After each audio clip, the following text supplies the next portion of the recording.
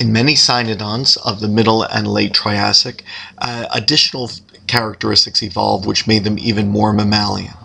This included primarily uh, a new jaw joint, so that the dentary squamosal jaw joint, that which mammals use, existed, sometimes accompanied by the more primitive uh, quadrate articular joint of reptiles, and sometimes the dentary squamosal jo- joint was the major jaw joint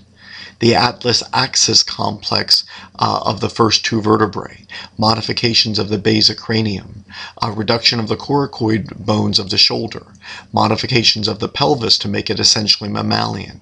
These and other features made uh, the cynodonts of the middle Triassic even more mammalian than those of the early Triassic.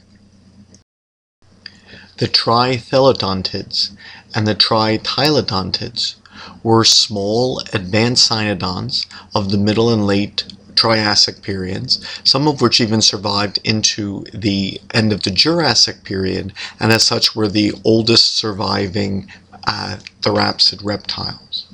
Uh, they are considered to be very close uh, to the mammalian ancestors, although they are not directly ancestral to mammals. They are very mammal like in many of their features, including the loss of the postorbital and prefrontal bones, uh, causing them to lose the postorbital bar, which separates the orbit from uh, the temporal opening for jaw muscles.